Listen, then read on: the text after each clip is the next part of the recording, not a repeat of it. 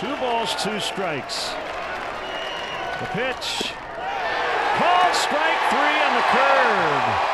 Some drama in the ninth, but Cubs win. Cubs win four to one. They get a series split.